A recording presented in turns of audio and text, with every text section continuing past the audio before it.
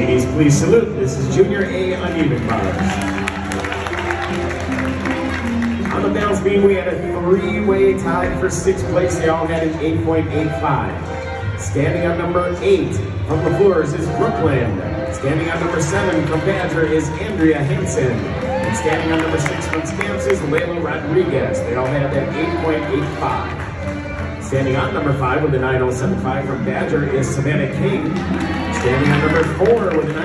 From Scamps is Kyla. Standing at number three with a 9.3 from LaFleur is Carissa Wolf. In second place on B with a 9.400 from LaFleur's Gymnastics, Mia Ziskin. And balance beam champion with 9.5 from Professional Gymnastics Center, Sydney Nguyen.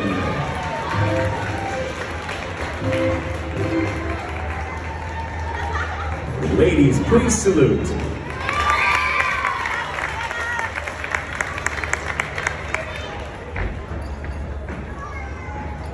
Moving on to floor exercise, we had a tie for seventh place. They both had a 9.275. Standing on number eight from Badger Gymnastics, Nora Blackburn. Standing on number seven from Scamps is Allie Peterson. Standing on number six with a 9.275 from Scamps, uh, excuse me, with a 9.235 sorry. Standing on number six with a 9.325 from the LaFleur's Gymnastics is Carissa Wolf, number six.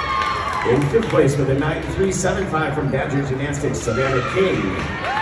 Fourth place, 9.425 from Scamps Gymnastics, Kyla.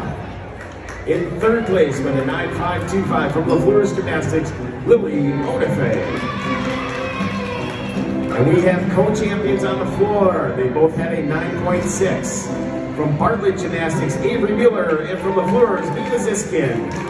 Girls, you may both stand on top of the number one podium if you feel comfortable doing that. Otherwise, you can stand on either side of it.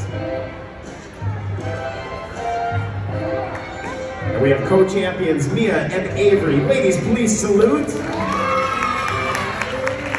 And parents, we're going to keep that number one podium up for a little bit after the ceremony to allow for photographs. So well done, Mia and Avery.